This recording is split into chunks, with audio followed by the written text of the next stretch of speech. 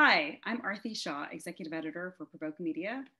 So, the world of healthcare is changing at such a dizzying pace. I mean, between a raging global pandemic, sort of game changing developments in health tech and biotech, and innovations around digital health, blockbuster pharma breakthroughs, health equity, access, and issues, there are so many threads and trends that are coming together in this moment that keeping track of all of it can be daunting that's the reason behind this series called Healthy Bites. So, on each episode, we bring on a healthcare expert to give sort of a quick and digestible what you need to know snippets. Um, so, you are updated on all the information and insights in the healthcare space that we need to know about.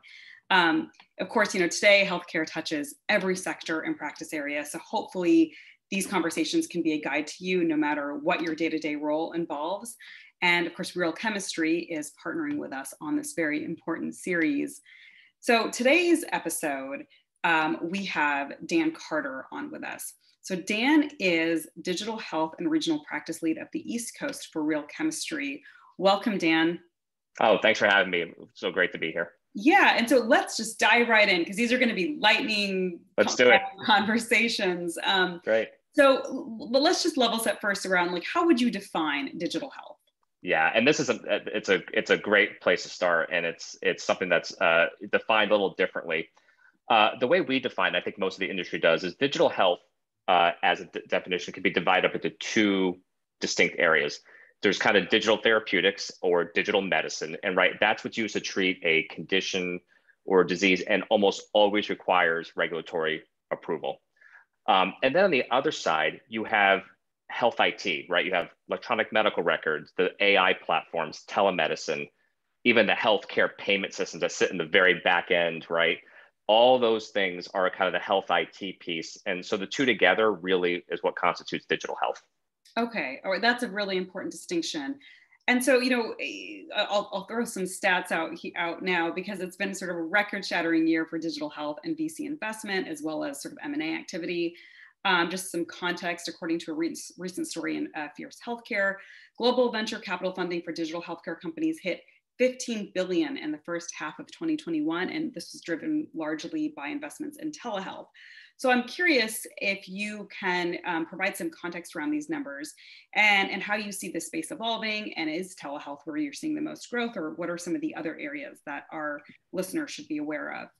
Yeah, it's you know it's such it, it's it's been an astounding really since uh, the pandemic started in, in, around March of 2020. You've seen this acceleration, but that number that you quoted, that 15 billion, that already surpassed all of last year, which is just astounding. You know, over 11 IPOs, SPACs. Um, the average deal size has gone up to 38 million. It's it's just incredible. And while the bulk of that uh, has been in telehealth. There's also been a lot of M&A activity. Just a couple weeks ago, Amwell purchased SilverCloud and Conversa.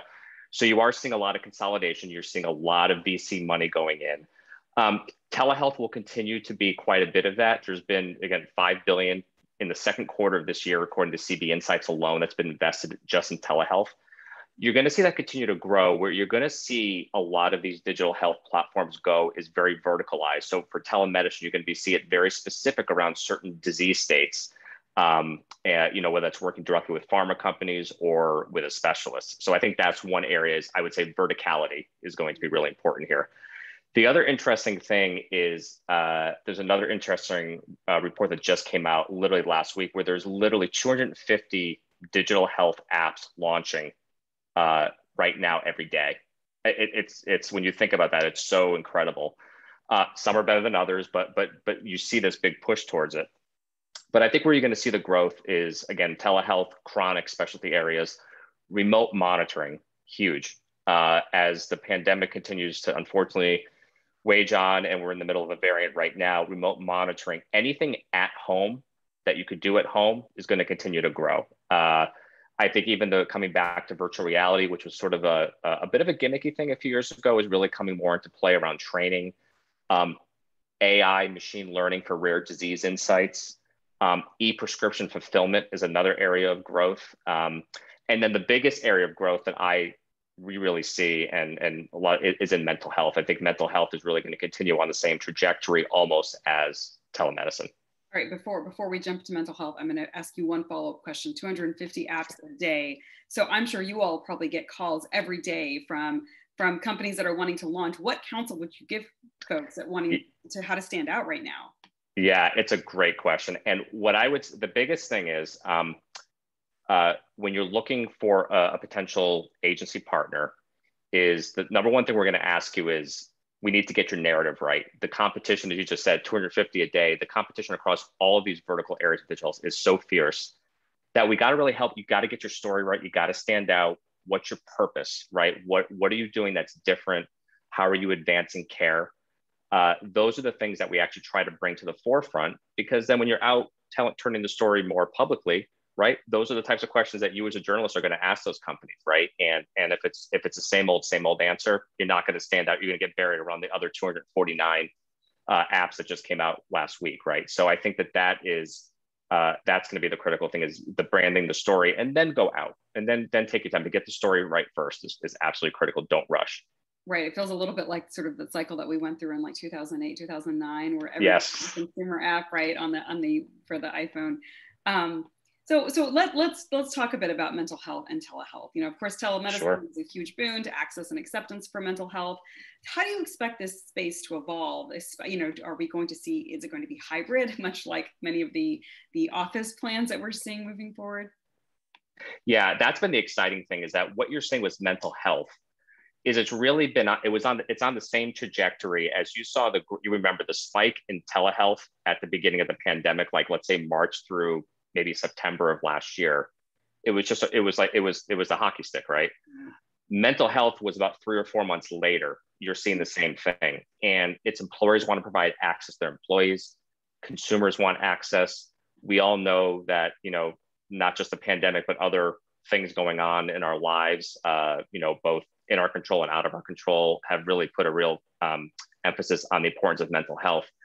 And what's been amazing about these technologies that have come out that are a lot are AI based, there's many apps that are out there. It has created this really truly holistic, omnipresent ecosystem for mental health that didn't exist before, right? So instead of just going having access once a week, once a month, you now have that connection, that hybrid approach that you talked about. But now you can layer on top of that consistent access through another through a technology. And I think consumers and employers are getting very excited about that. We're seeing the adoption uh, go up significantly across the board. So I do think that omnipresence is so, so, so important here. Um, the other thing I will say is data.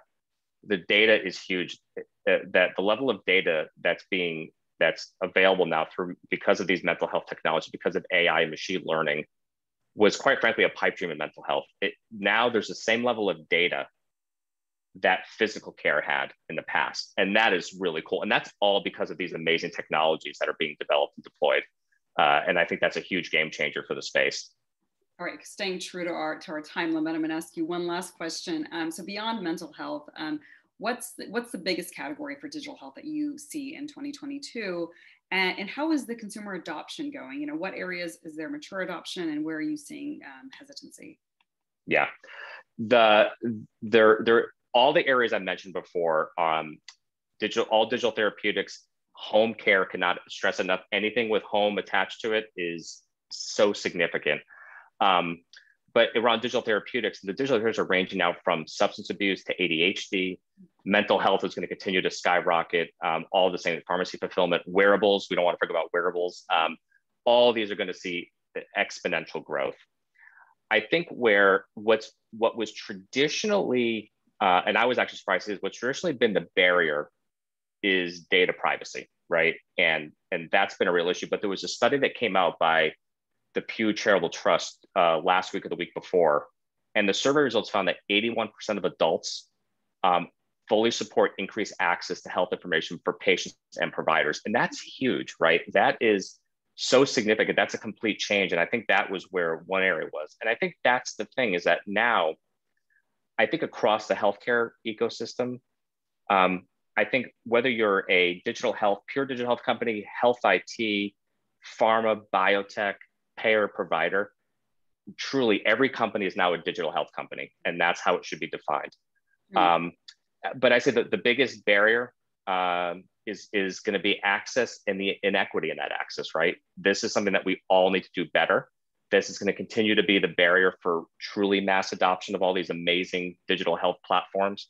Uh, but I think if we can start to chip away at that, and we are, there's so much great stuff happening in the industry that we're going to see this for 2022. You're just going to see this sky. This, if you think it's skyrocketing now, just wait until you see next year. It's going to be absolutely incredible, and it's an, it's such an exciting time to be in the space. I it's just it's incredible the innovation that's happening at the pace that it's happening. It's it truly is um, a renaissance, in my opinion. Yeah, and it seems like we, we may have to do an, a follow up uh, Healthy Bites on health access and equity as that's such a big conversation. Well, thank you, Dan, and we will be back soon with another episode of Healthy Bites.